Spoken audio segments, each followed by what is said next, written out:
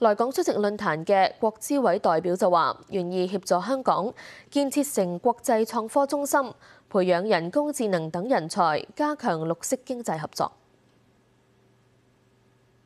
在“一带一路”倡议新的黄金十年里，香港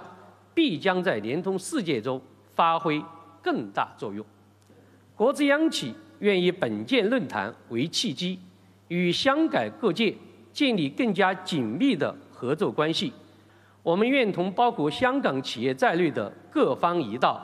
打造陆海联通、协同发展的互联互通网络，推动航运加港口加物流建设、运营服务全链条互利合作。